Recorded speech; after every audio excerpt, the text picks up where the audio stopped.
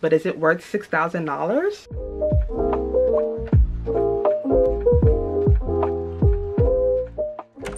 Hey guys, welcome back to my channel. Today I'm going to be sharing a very special unboxing of this Fendi and Tiffany collaboration piece. Now I am so excited to unbox this because it was really difficult to get this bag. This bag has been creating so much buzz since last year and I'm happy that I was able to grab it.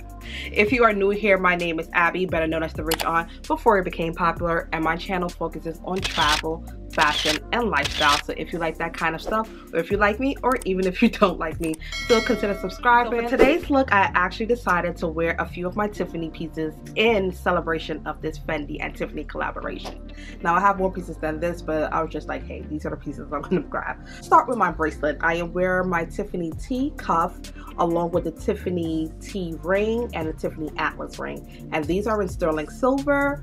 I am wearing my Tiffany T wrap ring. This is in sterling silver. Now these four rings are in gold. So I have yellow gold, rose gold, white gold, and another yellow gold. They all have diamonds except for one of them. It has rubies. And wear my classic Return to Tiffany bracelet. Mine actually um, doesn't say Return to Tiffany. I opted for the plain one. I wear my Tiffany T necklace and I'm wearing these Tiffany hardware ball earrings. So this is my Tiffany look for the day. When a lot of people think of luxury brands, they usually assume that it's a European brand. But did you know that Tiffany is actually the oldest jewelry house out there? It's been around since the 1800s, whereas a lot of other jewelry houses has started in the 1900s. Now this bag has been creating some buzz since last year, and I'm here to tell you if I like the bag and if I think it's worth it. So this is gonna be the first time that I am unboxing it. I have not seen the bag yet, and this is my first time opening it. So before I open this piece, I do want to share my experience on how I got it. Some background info surrounded this piece. Fendi celebrated their 25th anniversary of the iconic Fendi baguette. During this celebration, they had a huge fashion show with 25 different baguettes, had some designed by Marc Jacobs, and even a special baguette designed by Sarah Jessica Parker herself, who is known to have put the baguette on the map. Last year around August, September, there was some buzz that Fendi and Tiffany were collaborating. You started seeing pictures surfacing online, and I did see some influencers being able to preview these pieces. This bag released on January 5th, and that's exactly when I got this bag. However, I don't know why. I didn't have much interest to open it up until now, and it is now a few weeks later. I can remember January 5th morning when this bag dropped. I actually was online trying to see if I can purchase it. However, when it comes to these kind of things, I do not even bother. I literally go on websites for the fun of it because I always feel like I have zero luck and a zero chance of getting these items. So per usual, I went online and I tried to see if I could snag one. Of course, I couldn't. There was like a waiting room. It was just madness and chaos. I was just like, hey, whatever. I did not expect to get it. I find that the best bet to purchase this item is to actually go into store or speak to your SA at either Fendi or Tiffany. For me, I purchased my item at Tiffany, not the Fendi store my SA from Tiffany actually reached out to me and offered me the bag. Get right into this bag, and as from the title, you already know what bag I'm speaking of. So one side says Fendi and the other side says Tiffany. And if you are new here or if you do not know me, when I am shopping, do not take the brand bag. I always get a discreet bag. So that's why it's folded because I put it in a discreet bag. I really love that they opted for the iconic Tiffany blue opposed to the iconic Fendi yellow. Tiffany blue is just such a special staple. It's like no other blue. So this bag retails for $5,500. That is a lot of money. I think this is the most I have ever paid for a bag in my entire life. This is ridiculous. So it was $5,500 and with New York City sales tax, it was an additional 488.13 bringing this to pretty much $6,000 for a purse. A Fendi Tiffany purse at that. Tiffany baguette pure details, medium Tiffany baguette, silk satin and sterling silver Tiffany blue enamel finish. Here it goes. And the dust bag says Tiffany and then the other side says Fendi. Since I purchased it from Tiffany, I'm gonna face the Tiffany side to the camera. And the moment we both have been looking forward to is our first look and thoughts of this bag. It's beautiful. I can't deny it. It's a beautiful bag. Let me not get this too close to my red lip because we don't want to damage this bag as soon as I get it. So I went for the satin only because the leather was not available because I think spending this much on a satin bag is a little astronomical. Satin does not have the same longevity as leather. I'm gonna be very honest, this satin feels so luxurious, like it looks so good. All of the hardware on this is made with Tiffany silver. This bag comes with two straps, how I don't feel like the straps are practical. This one is supposed to be just so that it can be a top handle, and this one just makes it into a shoulder bag. It does not make it into a crossbody, especially if you have big boobs like me, or even if you don't have big boobs, it's gonna hit you really small. So as you can see, I am standing up, and this is where the, the straps hit me. This bag is pretty lightweight. I'm gonna assume maybe the leather bag could be heavier than this one. I really love how they incorporated two Tiffany collections into this.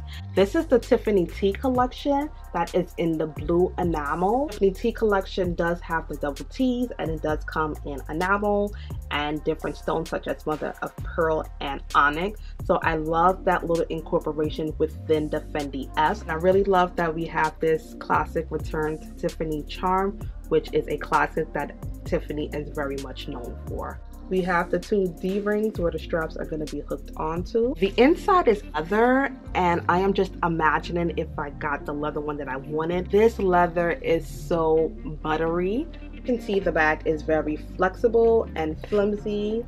Um, it is not a structured bag at all. The inside is silk and it's very roomy. There's a lot of room in this bag and a lot of space. There is only one pocket where I have my authenticity card inside of it.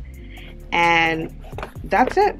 This so bag. I'm not exactly sure how many bags were made. It would have been lovely if they would have put like one out of 20 for each of the bags to show how limited it is. There are rumors that there were around 70 or 100 bags made worldwide collectively in all of the different variations. This collection came with quite a few items. There was the leather baguette, the satin baguette, they had a leather micro baguette, and they also had a micro satin baguette. There were also some charms and I think this was the best value for money because the micro was around $3,000 and it's never that serious. I don't care what kind of silver it is. I don't care if it's silver from Claire's or silver from Tiffany's. $3,000 for that little thing is just unethical. I did put some thought into which piece I wanted from this collection. At first, I thought about the Nano Charm because it was one of the least expensive items. But then I thought about it. I'm gonna pay $3,000 for a charm. Like literally, I can fit probably about four or six of those charms onto this. So I was like, I might as well spend the extra money and go for an actual bag because it's gonna be more practical and make more sense as far as the value. I feel like every time I'm gonna reach for this bag, I'm gonna make sure my hands are squeaky clean with no kinds of oil, no kinds of dirt, and definitely no makeup on it. And to be honest, I do not want to have to go through that with any bag in my collection. So if you pay attention to my videos, you do see a few blue boxes in the back I've been a Tiffany's customer. I've noticed since LVMH has taken over Tiffany, they have been collaborating with a lot of different brands. I am kind of a collector of Tiffany collaborations.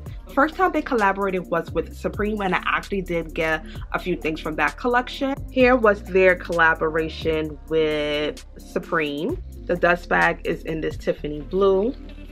So it does say Supreme on one side and then Tiffany and Co on the other. Then on this hanging charm says please return to Supreme New York instead of Tiffany, New York. I did see that they are collaborating with Nike very soon and the sneakers are trash.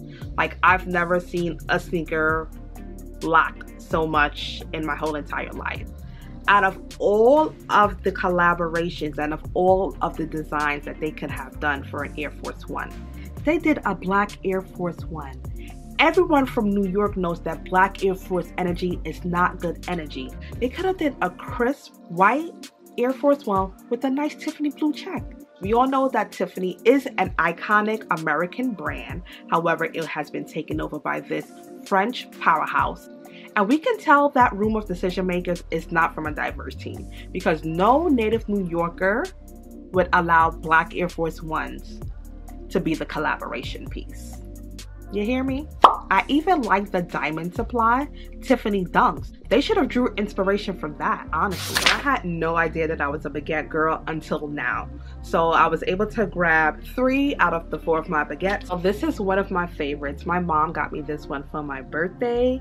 It is a double baguette. So it's two baguettes for the price of one. I love it and you can hold it like this and it also does have a strap and the strap is blue so you can wear it as a crossbody or you can double it up and wear it as a shoulder bag. One of my favorite baguettes. Next up, this is my oldest baguette. This one was actually my mom's and she handed this one down to me. And I used to wear this a lot in high school.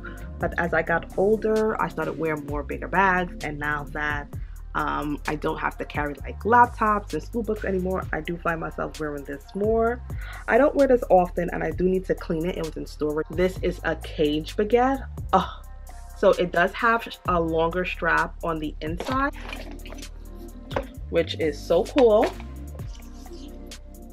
and it has like these side pockets one for your earpods and this cage can actually come off. It's removable and then it comes with a top handle and then it also comes with another like medium size um, strap handle. So this one is one of my all-time favorites. I want to give a warm welcome to the Baguette family, the Tiffany Fendi Baguette. I do believe this has been one of the hardest bags to get. I do not know much people with it. I'm the only person I know with it. All right, so let's share my thoughts on this bag. Yes, Fendi and Tiffany are two iconic brands coming together to create this bag. So a lot of that plays a part into the pricing of this bag. And for $5,500, I do not think this bag is worth it. I know I do have the bag, but would I recommend getting it? I say if you are a lover of collective things, if you are a lover of Fendi baguettes or if you are a lover of Tiffany's to that extreme, then sure, go for it. Um, you're gonna find value in it, but I feel like any average person, Fendi does have bags in this color, and Tiffany does have bags in this color. They have like different tote bags and things like that. I really don't think it's that serious for them to have a bag at this value. I don't think it's worth it, and I do not think it's worth it for a satin bag. Satin is very luxurious and you do have to baby it. However, when you're spending this amount of money, I want to be able to use my items. I do not want to have to baby it and have to worry about a stain, whether it be water or some kind of colored liquid getting onto it. Another thing I also thought about was the tarnishing of the silver and the satin mixture together. A lot of my Tiffany's pieces has tarnish and I feel like if this is not stored in the right temperature, the tarnish is going to get onto the satin, if that makes sense.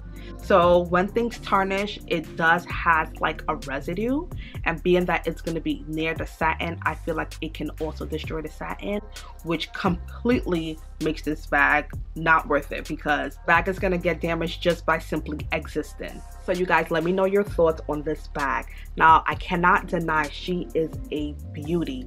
She is gorgeous. I love everything about her. I do really enjoy the satin. I think it makes it look very chic and it looks very elegant and elevated. And I love all of the detailing. I do love the collaboration between Tiffany and Fendi. They really tied everything together seamlessly. Like the Fendace I thought was beyond tacky. I did not like it at all. I think everything looked so confusing and just so jumbled together. As far as this one, I feel like they were very intentional and intricate. What I really love is how they meshed the two brands together and made it make sense that's really important as far as with these collaborations because we all know collaborations can get very tacky very easy. All right, so I want to hear from you guys. Do you like the bag and do you think it's worth it? You can definitely like it and not think it's worth it the same way I do, or you can not like it and not think it's worth it. Make sure you leave your comments below. Thank you for tuning into my video. Do consider giving it a big thumbs up. It does help with the algorithm. I really appreciate it. And make sure you check out my other videos and subscribe to my channel. The Rich Aunt signing out. Bye.